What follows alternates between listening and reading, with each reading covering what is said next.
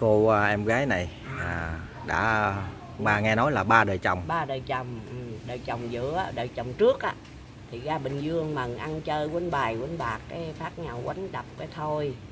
Thôi cái bỏ hai đứa con cái chia đứa bắt đứa. Dạ. Cái bán số bán số gặp cái thằng đập đá này ở bên uh, Hòa Hảo bên á. Dạ. Đó cái cũng bắt bán số bán số rồi bồng con với bán số. Bán số lòi được hai đứa nó là ba đứa nó điện thời giờ giữ ba đứa nha. Cái rồi phát ưng cái thằng này. Ưng thằng này nó quánh bằng dây nịch không? Cái rồi thôi thôi cái bán số à, đắp đổi ở à, chỗ à, bánh lứt á. Dạ. Cái, cái thằng trai tao thấy được nó, nó, nó, đem về đem về tao nuôi. Nuôi thời gian cái phát nhau ưng thằng này. Thằng này giờ lòi ra đứa nữa. Dạ. Rồi bây giờ tháng 8 này tháng 8 này tháng 9 thì đẻ nữa bây giờ thím ba có thể nói rõ là cái người chồng trước là ở với cái cô này là được mấy đứa con? Hai đứa. Hai đứa con. Ờ là được bao nhiêu năm mà cô này à, thôi? Rồi cái chừng 6 6 năm 7 năm vậy dạ sáu bảy năm là thôi là được hai đứa con. Ờ à, chồng thứ hai. Ờ chồng thứ hai là, là thằng này thằng thứ ba. Không Ờ, ý nghĩa mình mình kể à, từ đầu là là Ừ. là chồng thứ hai á. Chồng thứ hai hai Là- đứa con. Hai đứa con nữa? Ờ vậy là bốn mà hả ừ thằng thằng thằng thằng, thằng, thứ nhất thì hai đứa. Dạ. Rồi thằng nhì này hai đứa nữa. Là bốn. Ừ giờ thằng này nè thằng này bây giờ được đứa nữa nè. Được đứa À. giờ tháng 8 tháng 9 này đẻ đứa nữa. Là tất nhiên là hiện tại giờ là năm đứa con Ừ. và trong bụng một đứa. Ừ. Là sáu đứa. Ừ. Trời ơi. Đó. mà cái cuộc đời của cái cô này thì con cũng nghe nói là rất là khổ cực Khổ là lắm. cái người chồng trước là làm cái nghề gì để mà sinh sống mà để nuôi vợ con? Mừng mướn mừng thê quýnh bài mừng có nhiêu quýnh bài hết trơn dạ Ừ. con bà mai ra, ra trong vĩnh hạnh nè đó thì à, thằng gái mà đi ra mà lấy Khổ. chồng mà không có được lo chăm sóc cho vợ con thì Ừ. khổ cả cuộc đời đó tao thấy con nhỏ này là khổ dài dài giờ găng cỏ giờ gãy trơn trước hết rồi lỡ cả đường tình duyên luôn rồi chạy chạy đi ờ, mua đồ mua đạt bán đó rồi té Dạ. xe gãy găng cửa trơn khổ ưng thật này rồi cái người chồng thứ hai thì nghe nói cũng đi à, bán vé Đập số. à, cũng đi bán vé số. Bán vé số rồi à, rồi thằng chồng đập đá. Ừ. trời ơi. Quýnh bằng dây nịch không đó. Ừ, ừ. chịu không nổi. Khổ thế. gì tao không biết nữa. nó hiền dữ lắm. Dạ. Đó. Đó rồi bây giờ ưng cái thằng này nữa.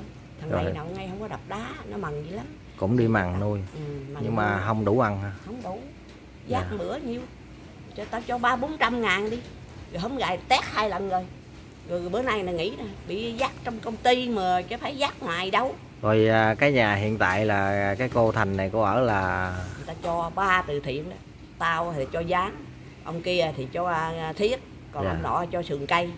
Ba người. Ba người hợp lại để Hợp mà lại à, cắt được cái nhà. Ờ khổ cuộc đời ha. Ừ. rồi mình à, tìm hiểu cô cô ba như thế này rồi mình sẽ đi vào bên trong để mình à, chia sẻ cho bà con xem. Ừ. hoàn cảnh à, và cái cuộc đời cho cô thành cái gì? Sao? Cho một chục trứng vịt hả? À, năm năm trứng vịt con bé tư. À. Cho năm trứng vịt để dương bọc dưa leo chừng hai ký à năm trứng vịt rồi Ừ. cho thêm một bọc dưa leo 2 kg ờ. Rồi à, nhã nhã mới cho chục ký gà gạo nè. Thì à, bình thường á thì à, con thấy cái à, cô thành này á là cũng đi à, ra chợ à, buôn bán. Ừ. nhưng mà bán thì không có chỗ nơi. Ờ rồi thấy bán cũng ế ẩm quá. Ê ẩm nữa rồi vào mùa dịch này không có đi được. Đi được đâu. Rồi cô mang bầu cũng mấy tháng à hả cô bà? À, 6 tháng mấy gì rồi? 7 Ồ. tháng 8 gì đẻ đó. Rồi vậy là bầu lớn rồi hả? Ở dạ. Nói trong rồi mình à, đi à, vào à, sau lưng cái à, ngôi nhà này luôn để mình à, vào à, thăm một cái cô à, cô em ở trong cái phía sau nhà nè. Có cái nhà thì mạnh thường quân cho tiền cắt ba cái nhà ở bên đây. Đây một cái căn nhà nằm ở phía sau lưng nè, cặp mé ruộng luôn cả nhà ơi. Trời ơi đây à, em tới nhà của à, cô Thành đây nè cả nhà. Thì hiện tại thì à, cô Thành năm nay là bao nhiêu rồi? À, em 32 tuổi hả? Ở đây là hai đứa con hả? Hai đứa bên đây bên đây bên đây một đứa nữa. Rồi à, thêm một cái à, bụng bầu nữa hả? Bụng bầu là là mấy tháng rồi? Năm tháng mấy rồi? Năm tháng rưỡi rồi rồi cái nhà này là ở đâu mà mình à, có được đây? À, của từ thiện cho ha. Nhà cũng đẹp chứ. Này được bao lâu rồi cô thành? Cắt cầu hôm dòng tháng giêng. Tháng giêng tới giờ bây giờ tháng 5 mà hả? 6 giờ. Gần ba tháng rồi. Bốn 4 tháng rồi. Còn 4 tháng rồi thì à, nghe cô ba nói là cuộc sống thì à, rất là chặt vật khó khăn. Thì cũng à, đã trải qua là hết ba đời chồng. Thì ở đây là mình cũng nói trên video cho bà con hiểu là mình phải nói cho nó rõ cách đây là bao nhiêu năm mười mấy năm cũng sáu bảy năm rồi. Sáu bảy năm mà hả? Ừ. cách thôi đây là, là thằng này thằng này mới sinh ra đầy tháng rồi xong rồi thôi thằng này giờ 7 tuổi rồi thôi 7 năm 7 năm rồi. Thằng này là con của chồng trước cô đây hả chồng lớn đó. bé này. À, là thằng này với thằng kia. Mà thằng kia nó không nổi cho người ta thằng lớn cho rồi. Cho trời ơi. Tội nghiệp không? Rồi à, cái à, cái người chồng thứ hai của cô là bé nào? Nhỏ này nè. Bé đó đó hả? À, ồ. Với thằng trai nữa. Thằng trai 14 tháng đó. Con trai đâu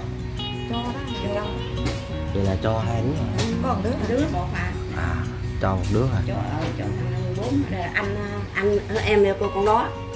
Em con đó. Ừ, còn ở với thằng trước á thì hai, hai thằng nhì rồi chia ra thằng thằng cha nó bắt con thằng lớn nó bắt thằng nhỏ. Thằng mấy đặng rồi à, hiện tại là cái cô bé nhỏ này là con chung của người chồng sau thứ ba. Đang đang sống. À, con của người à, chồng đang sống đây và một cái bụng bụng bầu à, 6 tháng rồi hả? 6 tháng rồi thì hiện tại cái kinh tế của mình đó là trước dịch đó là mình làm cái nghề gì mình để à, sống như cô Thành? Ông đi bán giấy số với đi bán hiển ờ, đi dắt lúa. Hiển Ừ. lúa thì hai chồng đi bán đồ gãy. Ừ.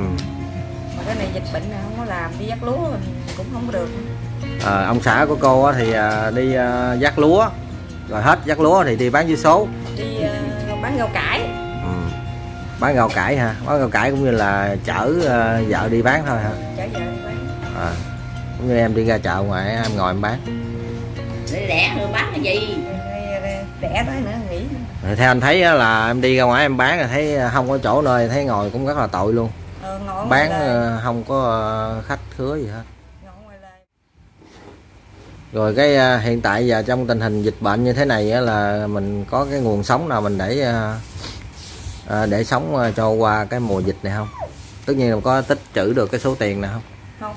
Đi ờ, ông làm ngày nào thì ăn ngày nấy. Dắt lúa một bữa rồi cái này đâu có đi xa đâu. Nó dùng vòng xã mình không mà đi một bữa dắt trong ngoài thì về sữa sùng gạo À. thóc cá mắm đồ hết rồi xăng cộ nữa. Cái này á thì ờ, do vào mùa đại dịch đó thì nó cũng ờ, cũng còn đi dắt lúa được ha. Dắt mà dắt vòng vòng xã mình không đâu có đi À. qua xã khác được. Đi ở trong ờ, cái xã nhà. Cũng dắt để mà ngày nào thì mình ăn hết ngày nấy. Ngày nào ăn hết ngày nấy bữa thiếu nữa trời ơi nuôi. không có lúa đâu có dắt được. Một con bư mà năm sáu con mổ như thế này ờ, sao chịu nổi? Ừ.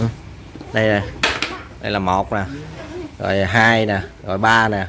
Rồi trong bụng nữa là bốn nè rồi thêm một thằng à, bé à, trước là cho là nó không tính đi. Là năm người con rồi. Ờ, ngáp luôn rồi. Buồn ngủ hay gì ngáp dữ rồi con. Nhưng không nổi gì cho nhỏ cho nhỏ 14 tháng cho có 10 triệu bạc. Sao cô bà nói sao Ừ, 14 tháng con trai em nhỏ này nè. Dạ. Ờ, Là- là? được 10 triệu bạc cho tây ninh.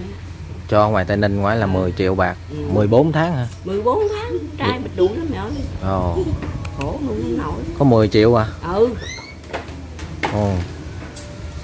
Cho lúc đó là mình cho ở bệnh viện hả? Ở nhà cô ba? Có nhà người ta tới nhà chứ. Cho tới nhà ha? Ừ. rồi làm giấy tờ rồi xong xuôi rồi Ờ, cho. làm giấy tờ rồi giao cho người ta. Dạ.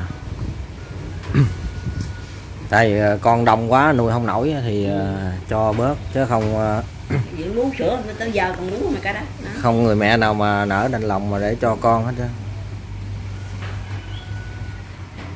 Rồi ờ, ông xã em giờ đi ờ, vác lúa. Lúa.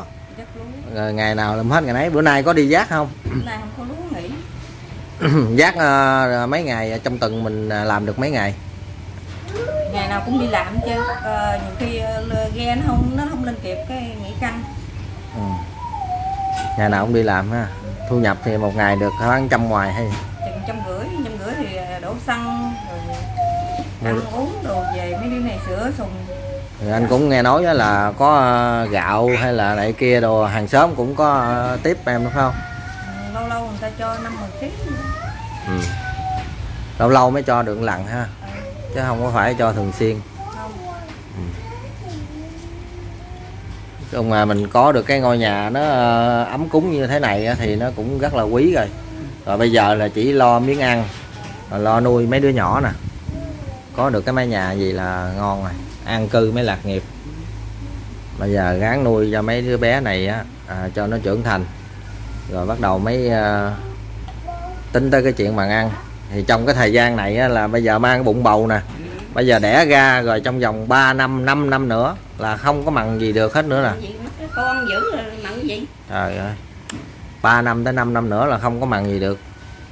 Mà thêm cái cô này bao nhiêu tháng rồi? Cô nhỏ nè. 18 tháng 18 tháng rồi hả? Còn cầm bình sữa kìa. Rồi, rồi. vậy là em cho nó uống ờ, sữa bình hả? Sữa bịch ờ, sữa tươi mình đó 7 ngàn bịch đó. À sữa tươi một ngày em uống được ờ, mấy bịch đây? Ba bốn bịch. Ba bốn bịch vậy là cũng cũng ít ha. Chứ cũng chưa có nhiều á. Ba bốn bịch thì cũng được. Mấy cái ngàn rồi bảy? Cũng à, bốn bảy hai tám rồi. Ừ. 28 như 30 ngàn. Một ngày là cái cô này là hết 30 ngàn rồi. Chưa kể là những cái tiền tả tiền này khác nữa. Tiền sữa không. Rồi mấy đứa trẻ này có đi học không à, à, cô Thành? Không nhiêu tuổi rồi thằng này 7 tuổi rồi. À 7 tuổi. Nhỏ này thì 6 tuổi đi học mẫu giáo mà không có ờ, điều kiện mà cho nghỉ.